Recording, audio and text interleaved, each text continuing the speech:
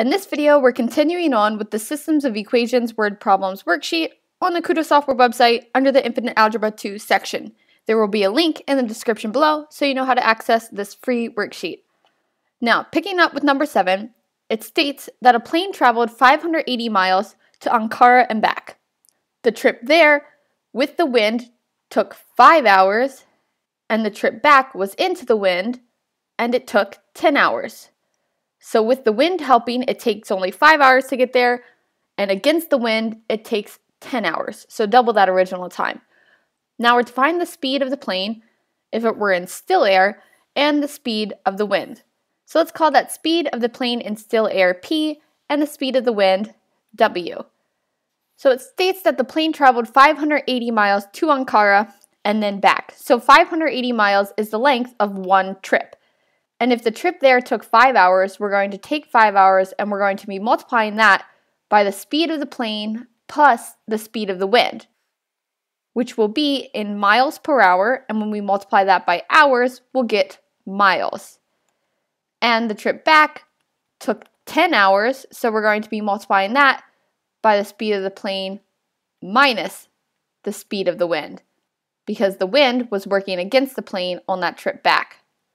Now we can use either elimination or substitution to solve, and I'll go ahead and use elimination.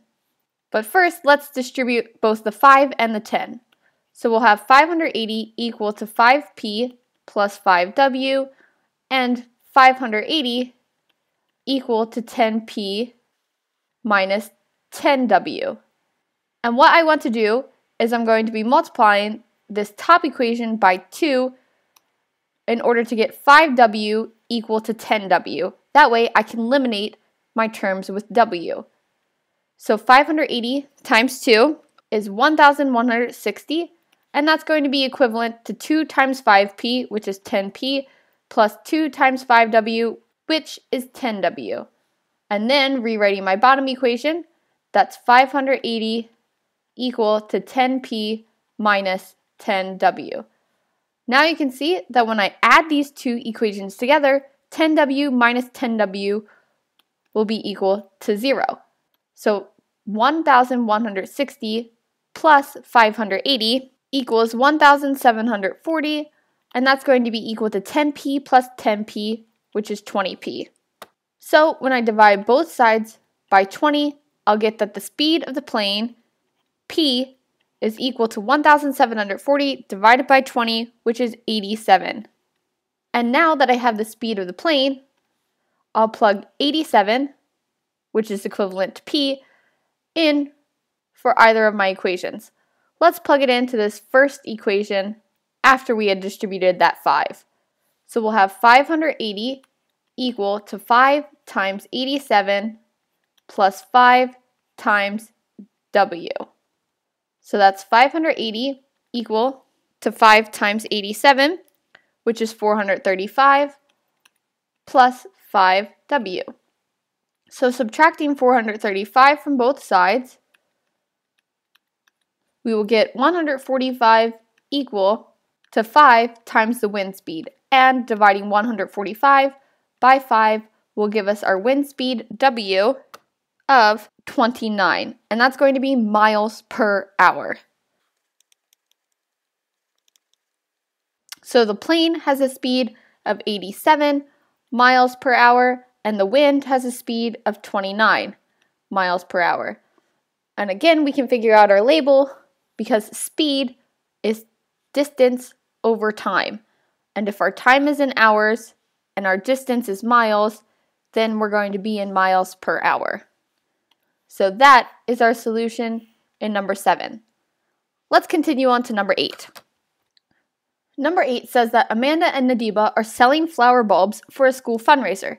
Customers can buy packages of tulip bulbs and they can buy bags of daffodil bulbs. So those are their two options. Amanda sold six packages of tulip bulbs and 12 bags of daffodil bulbs, and that totaled $198. Nadiba sold seven packages of tulip bulbs and six bags of daffodil bulbs for a total of $127. We're going to find the cost each of one package of tulip bulbs let's call this variable t, and one bag of daffodil bulbs, let's call this variable d. So for Amanda, her total is going to be 6 times the cost of those tulip bulbs, so 6 times t, plus the 12 bags of daffodil bulbs, 12 times that cost, d, equals 198.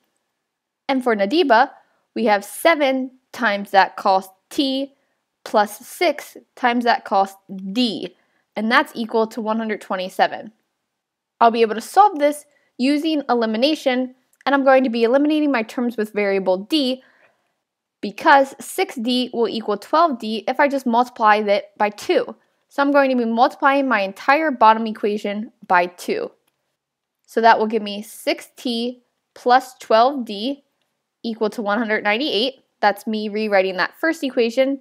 And then multiplying by 2, I'll have 14t plus 12d equal to 127 times 2, which is 254. And remember, when I multiply an entire equation by 2, I'm multiplying the left-hand side and the right-hand side. And now I'll subtract in order to cancel out my terms with d, because 12d minus 12d is 0. So 6t minus 14t will be negative 8t, and that's going to be equal to 198 minus 254, which is negative 56. So by dividing both sides by a negative 8, I'll get that t the cost of a package of tulip bulbs is 7 and that will be $7. So now I can take that 7 and plug it in for any of my equations. Let's plug it into that first equation.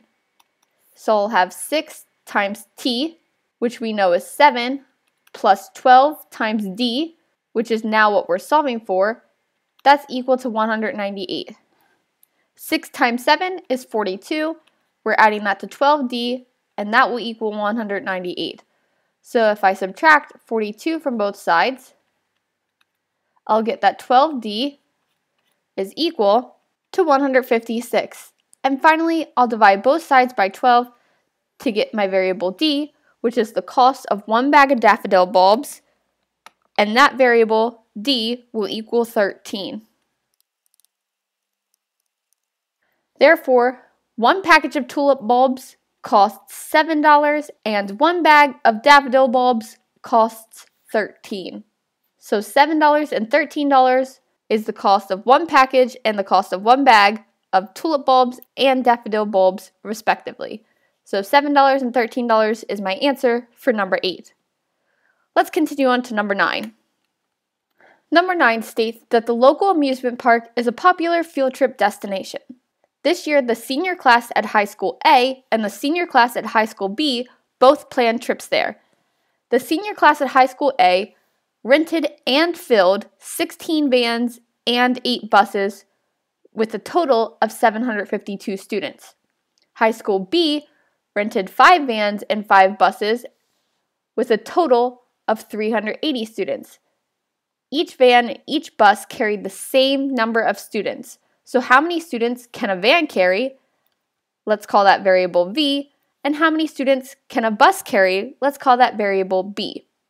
So for high school A, they had 16 vans. So 16 times V is how many students fit in those vans.